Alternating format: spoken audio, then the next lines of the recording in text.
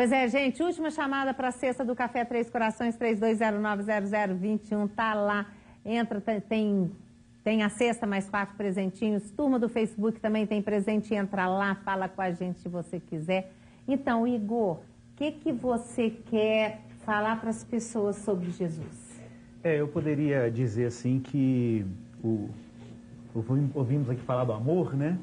E eu sempre digo assim que a expressão mais impressionante do amor que a gente pode, poderia experimentar e testemunhar é quando Jesus está sendo batizado, né? E, e, e aí o, a voz de Deus fala do céu, assim, eis o meu filho amado em quem eu tenho prazer.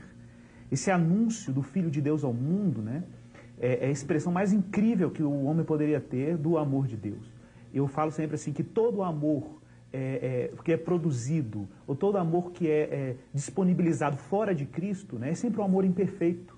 Porque se o Filho do amor de Deus, que é um amor eterno, um amor, a gente fica achando que Deus, a gente chama Deus de Pai por analogia, mas é o contrário, nós chamamos, os, os nossos filhos nos chamam de Pai, né, por analogia, o amor que já existia antes de Pai e Filho, antes de haver mundo. Né? Uhum. E, e, então, quando nós nos unimos a Jesus, confiando que o que Jesus fez né, foi suficiente, nós podemos amar é, de verdade. Uhum. E você, Alain? Sobre Jesus, eu queria dizer só uma coisa. Oxalá chegue o dia em que Jesus seja mais louvado do que aquilo que se fala sobre ele e que as palavras dele sejam muito mais seguidas do que as palavras de líderes religiosos que falam talvez aquilo que ele não disse. É. E você, Romero? É muito interessante, nós temos uma figura, uh, uma palavra que que é muito importante dentro da literatura védica, que é o Acharya. Por exemplo, você for pegar todos os livros que eu deixei ali, está lá Prabhupada, fundador Acharya do, da ISKCON, Sociedade Internacional para a Consciência de Cristo. Esse termo Acharya quer dizer aquele que ensina através do exemplo. E um dos maiores exemplos que a gente tem na história da humanidade é o de Jesus Cristo. Ele era o mestre perfeito. Então, certamente, se as pessoas seguem o seu exemplo, o exemplo que ele dá, tudo que ele vive, ela certamente vai alcançar o seu objetivo seguir não é tão fácil. Então ela precisa realmente desenvolver esse amor por Deus que foi tão falado aqui, de uma maneira realmente intensa, realmente genuína.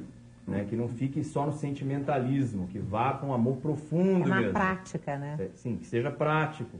Tudo aquilo que é prático, ele deixa de ser completamente teórico, ou seja, ele tem valor prático absoluto uhum. para a pessoa.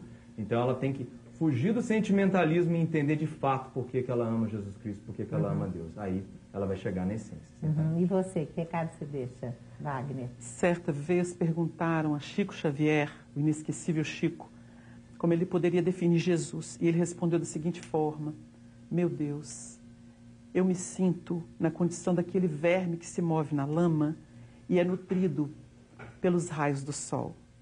É assim que eu vejo Jesus. Ai, que lindo. Gente. E se ele pudesse, ele colocaria na entrada de todas as cidades aquela frase magna do Cristo: Amai-vos uns aos outros como eu vos amei. Nossa, que mundo maravilhoso que a gente podia ter se todo mundo colocasse isso na prática, né? Obrigada, gente, pela participação de vocês. Vocês, obrigada demais. Aproveita seu final de semana e nós vamos terminar com o Bruno. Tchau, até segunda. Vamos lá?